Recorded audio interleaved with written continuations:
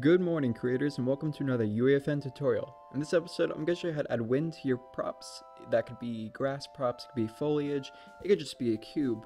So just indulge with me, I have a cube here, I didn't want to download a grass asset for this, but I have a cube here. Um, I've already applied a material for it and you probably have a material for your grass anyways. So once you've created your material, you'll go in. I assume you've connected the base color, roughness, all these good things. Um, to add wind, we're going to focus on the world position offset. And to add wind, we're going to go into the content drawer, go to the epic folder, and search for wind. You'll see there are two options here. You have wind and you have simple grass wind. We want to use the simple grass wind. And you can plug in the result into world position offset.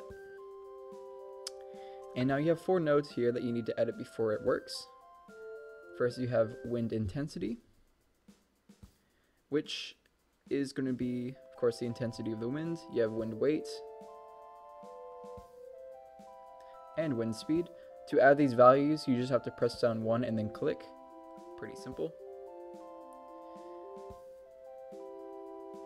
So, you also want to add a vector 3.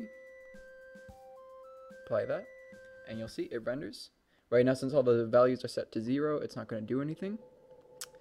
Um, so first you want to increase the wind intensity. Let's say just one for this. You see it's not going to do anything because we haven't set a wind weight. So wind weight is going to determine like how much it blows within the wind. And wind speed is going to determine how fast it blows. So like each movement is like a cycle and the speed determines how fast that cycle happens. So if I turn it to like 20, it's going to be really fast, very jittery. So I recommend keeping the wind speed down unless you really want it to be high. Um, wind weight, of course, is the amount it's going to blow. So if I turn up to 50, you'll see it goes crazy. So keep it generally low.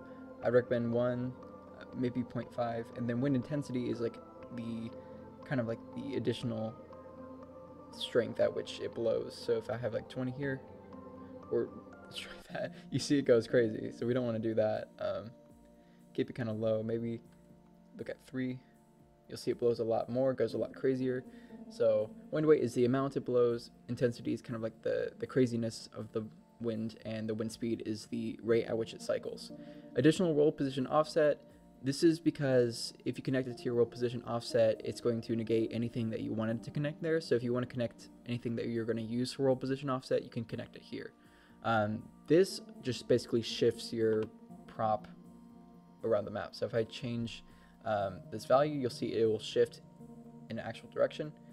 Um, maybe choose a bigger number. You'll see it actually moves forward a bit. Um, so I wouldn't really recommend you uh, adjusting this unless you really want to. Um, so just leave this alone. But once you have that done, we're going to apply. And you'll see it applies to my cube and my map.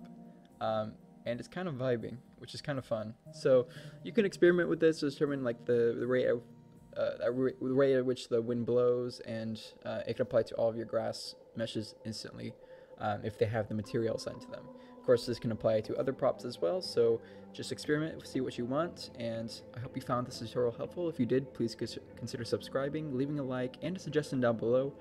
I hope you all have an amazing day, and good luck creating.